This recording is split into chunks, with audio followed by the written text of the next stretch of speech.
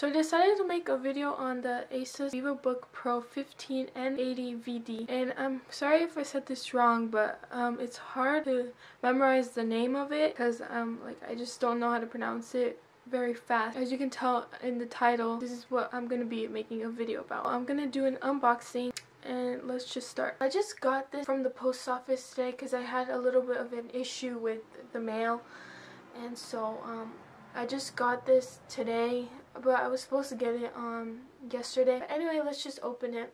The first thing you see is this box. As you know, it's just a box. But the cool thing about the box is that it's actually um it was actually really badly packed packed packed and so it looks all beat up.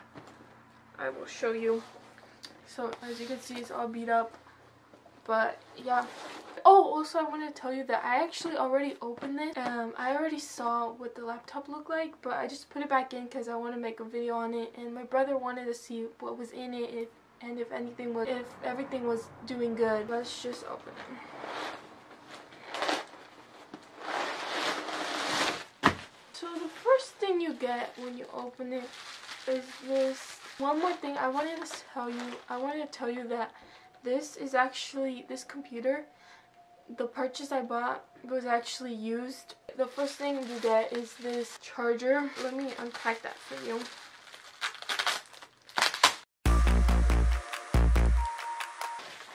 So it says it says um Asus because that's what the laptop is by the brand I guess but it comes like that and the battery looks kind of um, used and kind of good condition. It looks like they used it a lot though. So we have this. It just looks like a terrible mess but yeah we have that. And let me just throw that over there. It comes like this. And let's just open it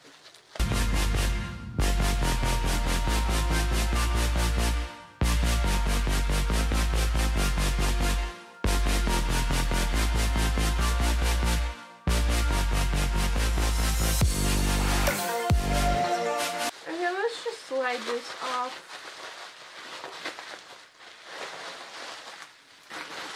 A lot of stuff. If you could see all the um, stuff that I had to take off, you would be surprised.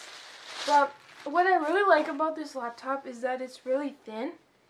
And it says Asus on it. Like, I like that. And that it's, like, clear and, like, cool. And, like, do you ever sometimes think like, why did these people sell the good stuff, you know? Let me show you. This is what it looks like.